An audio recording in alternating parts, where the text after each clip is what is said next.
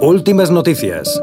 Me merezco un vino. Dice Carla después de tres webinars y dos presentaciones seguidas. Caso Martín.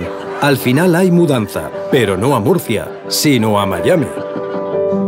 Y Alberto, por primera vez en su vida, llega a su hora. Quedemos en los bares, donde siempre hay mesa para las buenas noticias. Y la vida se ve siempre medio llena.